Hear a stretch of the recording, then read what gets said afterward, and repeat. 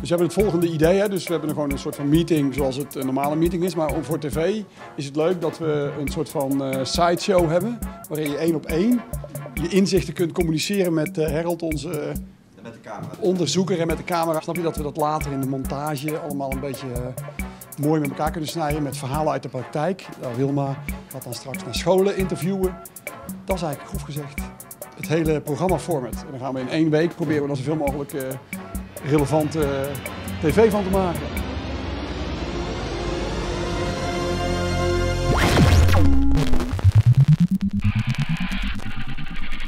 En welke docenten scoren het beste als je het bekijkt op, op, op authentiek? Wat vind jij het meest authentiek? authentiek is het woord wat jongeren tegenwoordig echt essentieel vinden. Ja, absoluut. Ja, maar bedoel, jongeren hebben daar, die, die, die hebben daar echt een verdieping. Die, dat, dat geldt ook in de communicatie. Alle boodschappen die je richting jongeren wilt doen, of dat nou educatieve boodschappen zijn of reclameboodschappen, die, die zijn heel puur, want die hebben alles al meegemaakt. Die kennen alle kneepjes. Dan moet je ook niet en, en wanneer heb je zoiets van, oh, dat is een authentieke docent? Ja, dan, dat is natuurlijk wel ja, nou, ik denk dat de combinatie van hoe zie je eruit en wat heb je te vertellen. Wat heb ik aan je? Dat is een combinatie. Want dan heb je de combinatie verpakking en wat zit erin. En ik, denk, en ik denk dat ik, eh, als ik zo de kinderen in mijn omgeving eh, vraag van welke docent was nou, nou ja, waar we door willen hebben, hè, wie een spreetje had meester, dan is dat waar dat klopt. Dat zijn mensen die, waar, die zeggen, die geloof ik. Ik ben uh, 27 en ik ben sinds drie jaar ben ik docent IBS, International Business Studies, hier bij Zatkin. Dan ben je wel een, een jonge docent. Ja, klopt. Leuk denk ik, vind ik eigenlijk wel. Dat je nog uh, dicht bij de leerling staat. Dat je nog een beetje weet wat zij doormaken. En ook een ja, beter contact hebt, vind ik eigenlijk met de leerling. En is dat belangrijk? Ik vind contact met leerlingen heel belangrijk. Dat, uh, tegenwoordig is dat zeker belangrijk door de diversiteit van leerlingen die er komen. En dan denk ik dat goed contact, direct contact met leerlingen super belangrijk is. Maar is dat wel mogelijk op zo'n grote school? Ehm, een grote school als Satkin is eigenlijk onderverdeeld in kleine stukjes, kleine opleidingjes met eigen uh, opleidingsmanagers en eigen klasjes, eigen roosters. Dus dat maakt het eigenlijk ook weer heel erg klein. Heel erg, uh, ja, met heel veel sociale contacten en controle eigenlijk, wat ook nodig is voor die leerlingen. En waarom heb je eigenlijk voor het onderwijs gekozen? Ik ben manager logistiek en daarin was ik eigenlijk een beetje op uitgekeken, zo'n groot woord. Maar ik had het gevoel dat ik eigenlijk iets belangrijkers wilde doen. En uh, ik wilde eigenlijk altijd al docent worden. Maar na een aantal jaren ook wat meer ervaring had. Maar het viel me eigenlijk een beetje tegen. Dus ik ben uh, een opleiding als docent gaan doen. En dat vond ik eigenlijk zo leuk dat ik meteen het docentschap uh, inwou. De docentenwereld. En het is me zo goed bevallen dat ik eigenlijk helemaal niet meer weg wil. Yvonne. Nee, Yvonne is een meisjesnaam. Yvonne is de jongensnaam. Is het de Franse naam? Ja. Okay. Bretonse naam. Yvonne is het mannelijke van Yvonne. Oké, okay, mooi. Ja. Altijd uitleggen. Ja. Uh, ik ben uh, bijna 58 en dit is mijn 36e jaar in het onderwijs. Ja. Allerlei rollen, allerlei functies gehad. En mijn huidige rol is uh, die van directeur van het opleidingscentrum Handel en Uitverzorging bij Zatkin. Een van de sectoren. Ja. Nou, je moet volgens mij heel dicht bij bij eigen intenties uh, blijven. Als, uh, mijn drijf is altijd geweest uh, om mezelf te ontwikkelen, maar ook andere mensen te ontwikkelen. En dat kun je, in, wat mij betreft, kun je dat in alle systemen doen. Alleen een systeem kan het je moeilijker of makkelijker maken. En wat bedoelt u met intentie? Is intentie waarom je het, wil, waarom je het allemaal wilde gaan doen? Of? Nou ja, als je gewoon je intentie is dat je mensen wil ontwikkelen, dat je mensen de, de spiegel wil voorhouden van Ehm, wat wil je in je leven bereiken? Hoe kun je uit het leven halen wat erin zit? En dat is niet alleen op basis van, van werk, maar dat is ook op basis van ja, gewoon geluk, normale eh, dingen. Dus je moet geïnteresseerd zijn in de, in de mens waarmee je te maken hebt. En dan zijn er veel meer mogelijkheden om mensen in welk systeem dan ook te ontwikkelen. En merkt u dat mensen wel eens die drive of die intentie kwijtraken, docenten? Of dat ze hem vergeten? Ze raken hem vaak kwijt, juist door de bureaucratie. En, maar ook door, uh, ja, hoe moet je het noemen? Uh, mensen hebben ook uh, veel uh, eigen leed. als mensen, stel dat je mensen hebt die al 20, 30 jaar met hele moeilijke doelgroepen werken. Je raakt ook een beetje murf. Want jij verandert, maar die leerling die binnenkomt, in de basis blijven een heleboel problemen hetzelfde. Alleen tegenwoordig is het zo dat er steeds meer mensen binnenkomen met dezelfde soort problemen. Maar jij wordt ouder en die leerling die blijft even oud. Ja, de mensen zien eigenlijk alleen maar de vakanties van de leraren. Uh, en zien dus niet dat het, uh, ja, dat het gewoon echt een heel zwaar beroep is. eh, je hebt ook gewoon geestelijk tijd nodig om weer bij te komen. Heel veel leraren zijn ook gewoon ziek in de vakanties. Zeker zo'n zomervakantie ben je gewoon een week, eh, of nou, bijna twee weken gewoon helemaal van slag eigenlijk. Dat je gewoon, ja, je loopt tegen de muur op, omdat je zo onder druk staat, zeg maar, van zeker de laatste periode. Dat je dan opeens in een, eh, ja, uitrust, zeg maar. Dat, dat, dat is heel vreemd eigenlijk. En ook vaak trouwens op vakanties gewoon doorwerken. Kan je, eindelijk, heb je eindelijk tijd om eh, het werk van de leerlingen na te kijken. Heb je eindelijk tijd om de lessen voor de periode na, na te, eh, voor te bereiden. Ja, die tijd heb je ook nodig. Want je bent gewoon veel met leerlingen bezig tijdens de normale uren. Ja, en de weekenden ook weer nakijken. Ja, en natuurlijk ook weer inlezen voor de dagelijkse gebeurtenissen. En dat weer vertalen in de lessen. Dus ja. Ja, je weet ook dat leerlingen of mensen in ontwikkeling ook een bepaalde fase doormaken. En je kunt dat niet versnellen. Zover gaat je invloed niet. Waar nu zit zijn er niet zo lang. Dus je, je brengt processen op gang. Het eerste wat ik, ja, eerste, een van de eerste dingen die ik gedaan heb is ehm, met de mensen in gesprek gaan. Aan de hand eerst van een enquête, na de hand eh, in, in, in gesprekken met teams en met andere mensen of andere groepen over eh, de inzet van nieuwe ontwikkelingen in het onderwijs. Hebben we gewoon de mensen echt bevraagd wat ze ervan vonden, of ze erachter stonden, et cetera. En dat heeft heel veel eh, losgemaakt bij de mensen. De mensen kregen weer het gevoel van, nou het doet er toch toe wat ik, wat ik zelf vind. Ik doe het. En de voorafgaande, eh, zeg maar, eh, voordat ik daar kwam, had men een aanpak waarbij men een kleine groep docenten nieuw onderwijs liet ontwikkelen. Dat werd vervolgens overgedragen aan die teams. En die teams werden daar niet altijd voldoende bij geschoold, ontwikkeld. Maar het was ook niet van hen, want ze hadden niet aan meegedacht. Meer van, doe het maar op deze manier. Doe het Ja, maar zo. en in de praktijk is dat mensen dat natuurlijk niet doen. Maar er wel tegen allerlei randvoorwaarden oplopen die niet op orde zijn. Hè. Dus, ja, en dan gaan mensen cynisch worden. En dan raken ze die drive, die vaak mensen wel hadden... en misschien ook wel nog hebben, die raken ze dan kwijt. En wat is voor jullie een goede docent? Naakte. Iemand eh, die nou, goed naar je luistert. Dat vind ik wel een uh, En die goed kan uitleggen. Gewoon die veel informatie geeft, gewoon, die gewoon goed uit kan leggen waar je het bij snapt. Oh, de klas op, eh, de, die de klas op orde kan houden. Nou, gewoon iemand die eh, de les interessant weet te houden. Die, die je echt weet te boeien met een leuk verhaal. Niet alleen maar feitjes op loopt te dreunen van ah, dat heb ik vroeger geleerd en nou vertel ik het jullie en let op. Maar echt actief dat je ook aan de les mee kan doen. Dat je ook echt geprikkeld wordt om op te letten. Dat vind ik een goede leraar. Een doel hebben en alles ervoor doen om het te kunnen bereiken. Iemand die uh, opbouwende kritiek geeft. Dus waar iets, ja, kritiek waar je iets mee kan. Dat is, dat is juist de kunst van een docent. Om de hele klas 45 minuten lang uh, zijn aandacht erbij te houden. Een goede docent is iemand die het leuk vindt om je les te geven. Die, die het echt leuk vindt om je dingen te leren en zo. Weet je wel? Die dan helemaal spontaan voor de klas is van... Goh, wat we gezellig vandaag. We gaan weer lekker aan het werk. Dat vind ik een goede docent. Hey, en, en wat vind jij van het onderwijs in het algemeen? Um, ja, een hele grote verandering gaande, de competentiegericht leren. Uh, en daar zit ook weer het, het aspect van meer uh, contact met de leerlingen. Vroeger was het natuurlijk een, uh, een boek leren, tentamen maken en een cijfer en dat was het. En tegenwoordig ga je natuurlijk veel meer kijken op wat een leerling kan. En per leerling ga je een soort van, ja, een soort van pad creëren om hem te verbeteren wat ze al kunnen. en daarbij heb je natuurlijk veel meer contact met de leerlingen. En ook de studie-loopbaanbegeleiders die daarbij helpen natuurlijk. En ik denk dat dat een hele goede zaak is.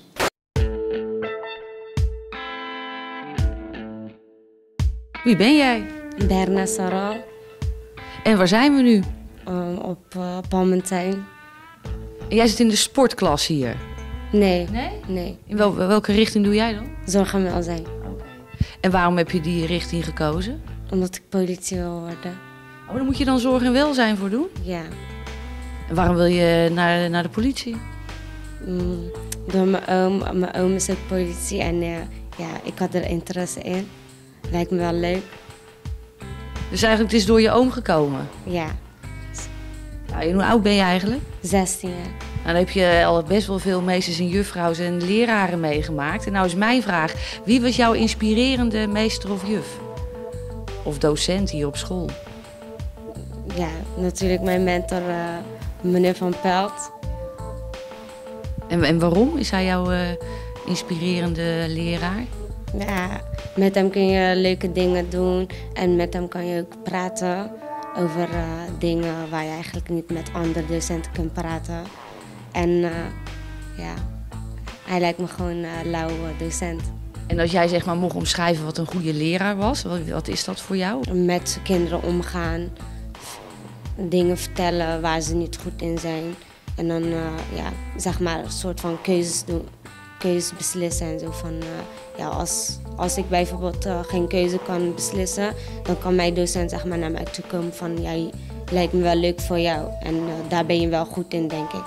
Zulke, zo'n docent lijkt me wel. En wat is voor jou goed onderwijs? vertel het maar, jongen. Goed onderwijs is gewoon dat je ja, boeken krijgt, gratis. Goed onderwijs? Geen. Ja, niet alleen uit boeken leren, ook eh, wel in de praktijk leren en met computers leren werken. Ik vind dat ze het een beetje aantrekkelijk moeten maken om, zodat meer jongeren naar school gaan. Dat je het gewoon goed uitgelegd krijgt en dat je altijd je, eh, ja, dat je gewoon, je goed je, gewoon op tijd je profiel inlevert in je werkstukken. En eh, ja, studiefinanciering krijgt. Bijvoorbeeld wij gaan op stage, daar leer je bijvoorbeeld later als we in een bedrijf gaan werken, leer je ook weer van. We zijn vandaag ook weer op excursie geweest. Ik denk dat je daar toch wel meer van leert dan eh, alleen maar in, in, de, in de bureaus zitten, zeg maar. Het is mijn eerste jaar op mbo, dus wel heel anders dan middelbare school. Het is veel vrijer allemaal. Is dat beter of, of slechter? Ik vind het zelf beter. Je wordt, je wordt er sowieso gemotiveerd van. Voor mij goed onderwijs is. ehm, even kijken hoe ik dit mooi kan verwoorden. Ehm, Attentiegericht onderwijs. Vind ik, vind ik wel goed onderwijs. Dat je echt een vakrichting opgaat waar je ook echt later wat aan hebt. Dat je zoveel mogelijk vakken hebt die je ook wil hebben. En niet dat je, niet, dat je gewoon bullshit vakken krijgt waarvan je denkt van... ja, maar dit ga ik toch weer vergeten zo gauw als ik klaslokaal uitloop. Daar heb je niet zoveel aan, vind ik. Perfect. Hele leuke opleiding. Het is wel een beetje raar dat ik tussen 140 jongens de enigste meisje ben. Is wel ze zeggen wel van eh, verwenning is het meer ook. Zeg maar dat ze allemaal enige meisje van ja, wat wil je eten, wat wil je drinken, hoe gaat het met je? Dat jij als het ware diep in wordt gegooid en met eigen kracht je eigen moet opbouwen in de prak- praktijkwereld. Zodat je uiteindelijk eh, ziet de mensen die er hard voor werken overblijven en de mensen die op een lui donder zitten en eigenlijk niks doen en zeggen dat er niks te doen is. Die vallen af. En de mensen die er hard voor werken, die blijven over. En dan zie je juist de mensen die er echt voor gaan in de muziekwereld. En de mensen die er eigenlijk op, op het succes zitten te wachten. Maar het komt niet aan waar je moet de kaart verwerken. Ze doen het wel goed hier zo. Ze doen het wel, eh, ja. Ik vind, ik vind dat ze het goed doen. Er zijn twee dingen waar je volgens mij als manager eh, in het onderwijs, maar ook daarbuiten gebruik van moet maken. De ene is een, een, een, zeg maar een positieve, dat is gebruik maken van verleiding. Hè, dus mensen eh, proberen anders te laten kijken. Probeert ze te, te kietelen eigenlijk, zeg ja, maar. en de andere is dat je jaloezie inzet. Dus dingen Tussen die... leraren. Nee, tussen teams. Hè. Tussen je moet niet op individueel niveau, want dat Ook werkt rampzalig. Hè. Want, maar dus wel eh, positieve ontwikkelingen. Teams die veel resultaten boeken, goede resultaten boeken. En of dat nou resultaten zijn die de bureaucratie eisen of dat je die, hè, dat je die samen afgesproken hebt. Ja, dat wel zichtbaar maken dat het ene team bepaalde problemen anders aanpakt als het andere. We hadden een paar teams en die eh, hadden de neiging om te zeggen van nou, wij willen doen hetzelfde onderwijs, hè, alleen op verschillende locaties. Die hadden aanvankelijk meer de, de neiging om eh, eh, los te gaan werken. En nu wil men graag zelf invloed hebben op het eigen onderwijs, maar men hecht heel veel waarde eraan om ook samen met die andere teams te overleggen. En wij hadden altijd tegen elkaar gezegd, vanuit management, ze moeten meer met elkaar praten. En toen zei iemand, ja, dan moeten we gewoon dingen organiseren. Ik zeg, ja, dat is wel goed om te organiseren. Ik zeg, maar nog mooier is als ze zover krijgen dat ze het zelf vragen. Wat merkt een leerling hier nou van? Of is het alleen maar intern eh, gedoe? Nou, dat is, een, eh, dat, dat is precies de vraag waar het over gaat. Hè? En, Wat, en, wat, wat, wat denkt u? Wat, wat, wat is een verandering op het moment dat leraren meer verantwoordelijkheid nemen voor de kwaliteit van het onderwijs? dan denk ik dat eh, veel problemen waar leraren nu heel graag van hebben dat een ander ze oplost, dat zij het zelf gaan oplossen. En wat merk je daar als leerling van? Nou, ehm, als, je, als je les geeft en, en je bent heel erg gericht vanuit het programma eh, te werken, dan zijn vragen van leerlingen eerder verstoringen van de les. Terwijl als je dus eh, meer ehm, je verantwoordelijkheid neemt voor het hele leerproces, dus ook voor de resultaten, dus ook dat die leerlingen op een goede plek terechtkomen, dan ben je meer eerder bereid om iets anders voor die leerling te doen. Dus we hebben heel lang in het onderwijs discussie gehad over differentiatie eh, van de lesstof. Ja, mij- Differentiatie bedoelt u mee voor verschillende leerlingen andere, andere eh, oplossingen? andere. En dat is iets als je dat als een, tenminste vind ik hè, Ja. als je dat een systeem invoert, dan werkt dat niet. Maar als je het doet vanuit de interesse en de behoeften van de mensen, dan zijn docenten daar veel creatiever in dan wanneer je ze aan de voorkant vraagt hoe ga jij aan die vier verschillende niveaus in één klas uh, tegemoetkomen? Of hoe ga je aan die leerstijlen tegemoetkomen? Mijn stelling is, en de overtuiging, dat interesse in wat mensen drijven, wat ze willen. En soms moet je diep gaan, hè, want we hebben ook gasten die zitten zo tegenover je. En, oh, maakt niet uit. Dus je, Dus dan moet je echt iets moet je echt om diep daar binnen te komen. Ja, en, en, en als, eh, als docenten dat niet kunnen, dan eh, kunnen ze op een ander gebied voor de leerlingen wel van waar zijn. Want zijn de leerlingen echt heel veel waarde aan een docent die kennis heeft. Dus mij heeft dat tot een, eigenlijk een hele simpele eh, verhaal eh, geleid. Eh, als je een team verantwoordelijkheid wil geven, het team dus meer zelf moet bepalen, want zij zitten het dichtst bij die leerlingen, zij kennen die leerlingen. Ik, ik ken die leerlingen alleen maar in abstracto hè, en ik kan er lekker over lullen. Maar... Dus wat ik belangrijk vind is dat ieder team heel goed weet wat ze moeten. Dat zijn namelijk de kaders, hè. de overheid stelt eisen. En daar hadden we natuurlijk ook een deel van de discussie over. Eist die overheid wel de goede dingen, et cetera. Maar de realiteit is dat je daar toch eh, rekening mee moet houden. Want anders kun je gewoon sluiten. Hè. Dan word je gewoon opgegeven. Dus iedereen moet goed weten, ieder team, wat ze moeten. Ieder team moet ook heel goed nadenken over wat ze willen. Hè. Wat is je ambitie? En dan volgens mij de belangrijkste stap is, en wat kan een team? Want een team is toch vaak een min of meer toevallige samenstelling. Waarvoor zitten we hier bij elkaar? Toch? Amen. Ik lijk wel een docent. Ja, nee. Hey! We hebben nou, we hebben nou, een, eh, we hebben nou gekozen toch voor een onderwijssetting. Dat ben ik. Ik ben een beetje een drammerige type. Ja. Dus, eh, ja, dit is nou zo kut, hè? Ja, dat doen we beneden ook. Oké, oké. Maar, Kut, hè, dat mag je ook niet zeggen als docent, lijkt mij. Kut. Mag je niet zeggen. niet vloeken. Ik heb al Nee, dingen gezegd, dan moest weg. Maar, maar hey, waarom zijn we hier aan begonnen? Volgens mij wilden we dus op zoek gaan naar het hart. Dit is niet alleen liefde, dit is ook hart. Het hart van... Essentie, essentie zou je kunnen noemen.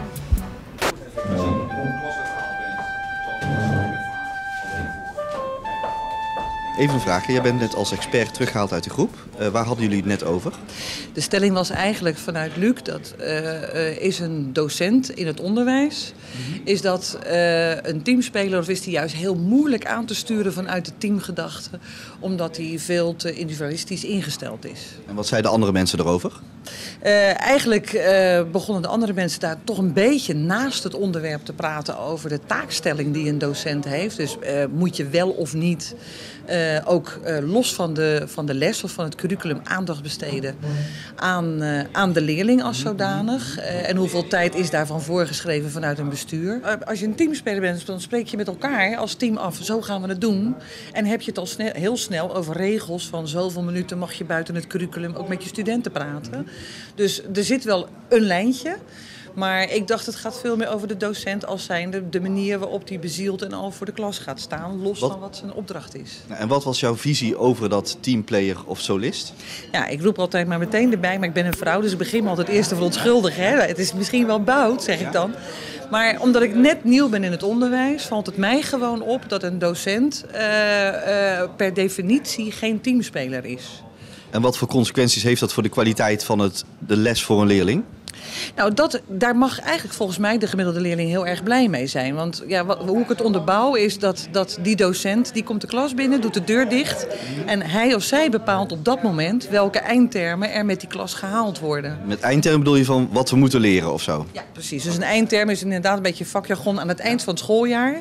Eh, bevat dan de, de, de, bevatten de leerlingen dan de stof die gedoseerd had moeten worden. Dus als er dan examen of een toets wordt gedaan, wordt dat dan met goed gevolg af, afgelegd. Ja, ik- kun, je, kun je nog even, want ik begrijp het eigenlijk niet zo van wat is het voordeel ervan dat de leraar het zelf mag bepalen als hij in die les komt? Nou, Hij, bepa- eh, eh, hij, hij bepaalt niet wat inhoudelijk, want dat, dat bepaalt de methodiek die hij moet doseren. En ik neem aan dat dat wel eh, vanuit het management natuurlijk wordt eh, gekozen, waar hij wel een stem in heeft. Maar de manier waarop dat wordt gedaan, dus wordt dat informeel gedaan, wordt het, individu- eh, wordt het individueel op de leerling aangeboden, doe ik dat met zelfvertrouwen en, en, en op een manier waarop de totale klas denkt, wauw, dat is een leraar die me nog tot lengtedagen zal heugen. Of rie- riedel ik gewoon mijn hele lesje af en bekijken ze het allemaal maar. Dat is iets met de deur dicht, wat de leraar gewoon zelf bepaalt. Ja. Maar wat daar dus uitkomt is dat het heel vaak als mensen zeggen welke docent inspireert jou heel erg, dat het antwoord is eh, ja, geen één docent. Dus vandaar dat we ook de opdracht iets breder hebben gemaakt van je mag ook verder kijken Wie inspireert, wie inspireert je dan iets breder. Want, want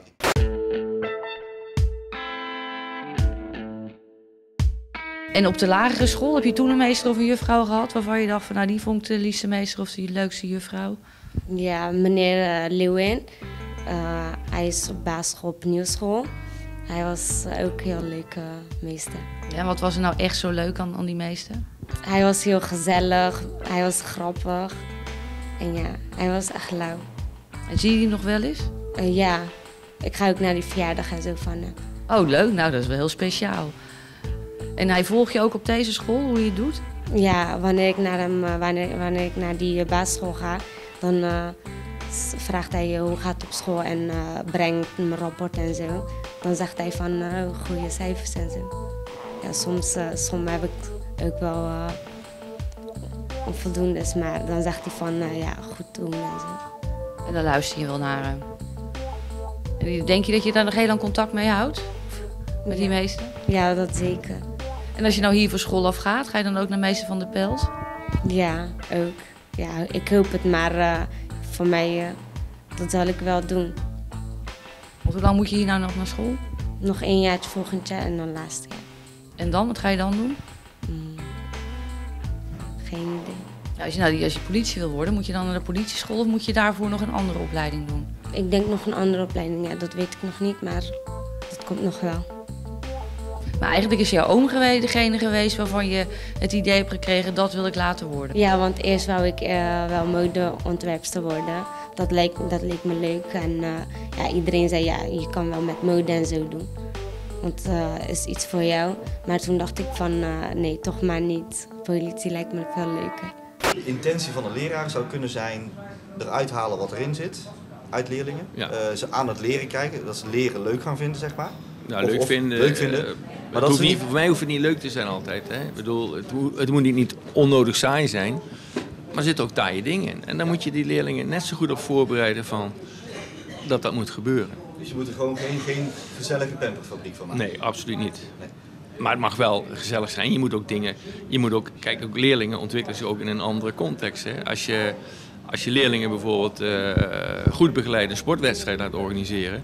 dan zie je andere talenten bij die leerling. Als je zegt, nou organiseer maar een sporttoernooi. ja, dan weet je bij sommige mensen, daar komt geen zak van terecht.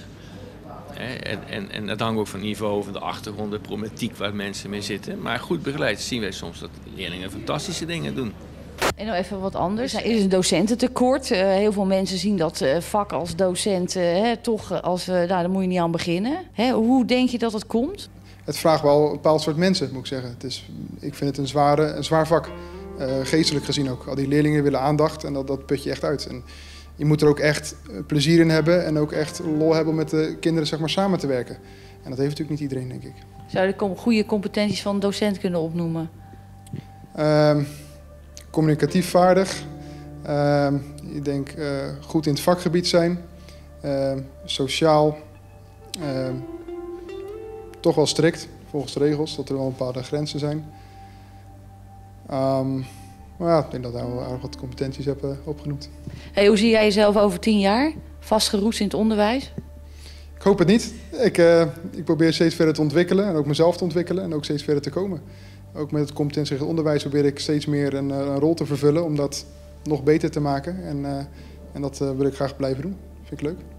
Een van mijn docenten heeft ooit onder mijn rapport een opmerking gemaakt. Waar ik op dat moment van dacht van eh, ja, right. Stel je nou voor dat die opmerking er niet had gestaan. Nu pas, denk ik, het klopt wel. Wilma heeft talenten, daar moet dat verder ontwikkelen. Maar dat opmerking was wel naar mijn ouders gemaakt. En ik ontving hem niet. Dus ik kan nu pas, en misschien ook wel tien jaar geleden, maar niet toen die opmerking werd gemaakt, Kon je hem niet plaatsen. zeggen van, oh, dat heeft mij geïnspireerd. Grappig is wat Jenny zegt, dat formele onderwijs. Ik denk dat als ik me over wat ik eh, doseer, dat ongeveer 60% formeel is en 40% absoluut informeel onderwijs is. Dat ik ze leer hoe ze zich moeten opstellen. Hoe ze zich Oké, moeten... dan komen we aan die definitie betaald. Nee, maar dit is, dit is een deel van, van de, wat je overbrengt. Het is niet alleen maar kennis.